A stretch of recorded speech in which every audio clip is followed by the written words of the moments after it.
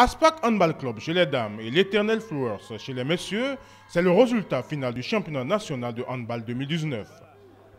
Le sacre des portuaires chez les dames était déjà presque acté le soir de la brillante victoire face à l'éternel rival Flowers lors du match d'ouverture du championnat. Le match de la dernière journée contre l'Entente Handball Club est une formalité pour les coéquipières de Tecle Aladé. Nous sommes restés solidaires d'avant parce que quand perdu le match contre Flowers la dernière fois, elles ont dit que nous avons perdu par manque de conditions physiques. Alors on a pris cela, on a travaillé, on a travaillé la condition physique et je peux dire que c'est grâce à ça que nous avons aussi battu Flyers. Est-ce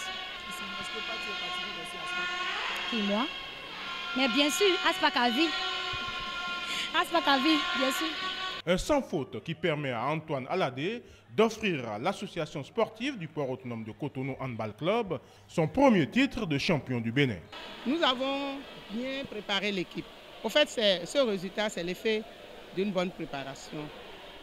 Nous nous sommes engagés pour avoir cette coupe-là et, on l'a eu.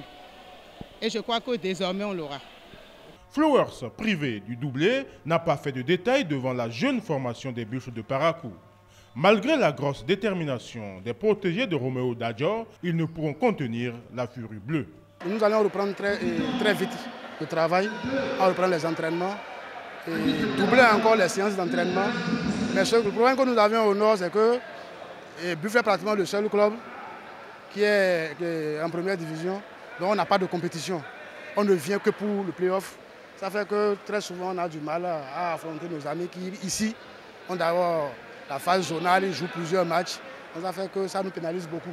Cora Abbas et ses partenaires un cran au-dessus de Salou et des siens s'imposent sur le score sans appel de 32-20.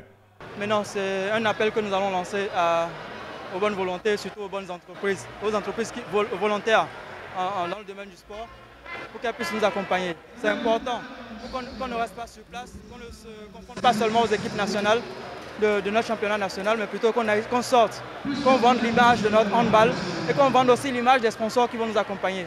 Euh, c'est ce que je vais souhaiter pour la saison à venir.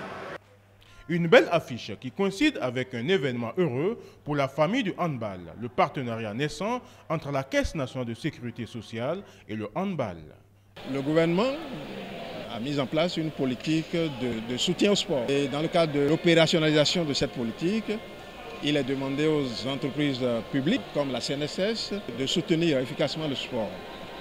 Euh, nous, à la CNSS, dans la mise en œuvre de cette politique, nous avons pensé, euh, nous avons jeté notre dévolu, si on peut le dire, sur le handball.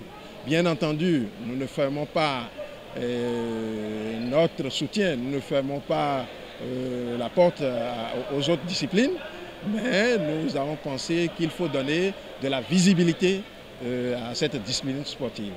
Le podium de la saison 2019 au handball se présente comme suit. Chez les dames, Aspac Handball Club est médaillé d'or, Flores médaille d'argent et Entente ferme la marche.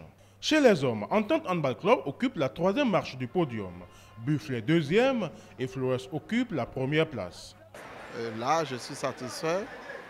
Bien sûr, la technique du jeu, il nous reste beaucoup à faire, comme je le dis. On va toujours continuer à travailler.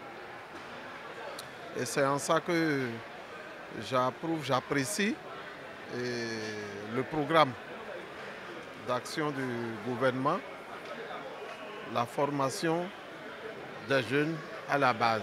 Le combat domestique terminé, les Portuaires et Flowers ont en ligne de mire la Coupe des clubs champions 2020, une autre paire de manches.